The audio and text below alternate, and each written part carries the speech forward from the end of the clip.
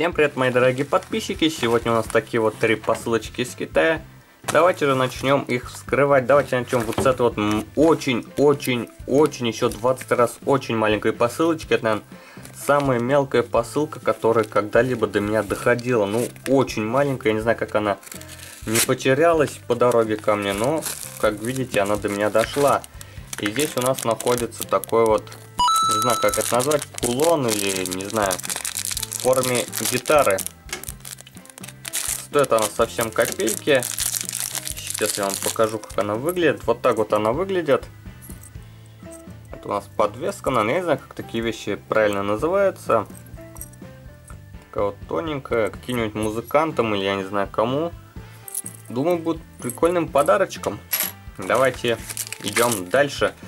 Так, давайте распакуем теперь вот эту вот посылочку. Это у нас это у нас USB хаб. У меня на компьютере стоит Photoshop, а все остальные программы стоят на ноутбуке. И а на компьютере у меня нету разъема под карточки флешки. И вот я решил заказать себе USB хаб с разъемами под флешки. Удобная вещь и действительно полезная. Стоит она там баксов 4 вроде где-то столько. Ну такой вот кабель здесь. Три USB разъема. Также здесь вот есть SD карточки, M2, microSD, еще какие-то здесь старенькие под флешки тоже. Ну что, вот так вот выглядит. Вот soft touch здесь поверхность.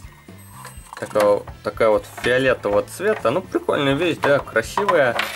Самое главное, практичная. И давайте переходим к последней посылочке. А, здесь у нас вроде как по ощущениям на ощупь часы. И давайте же проверим, то это или не то. О, нет, это не часы, перепутал. Это у нас йо-йо из Китая. В подборке товаров был вот именно этот йо-йо. Вот он, так. Где-то еще должна быть вроде как веревочка или... Или продавец забыл ее положить. Ну, как видите, веревочки нет. И нигде... А, вот, вот, вот же она.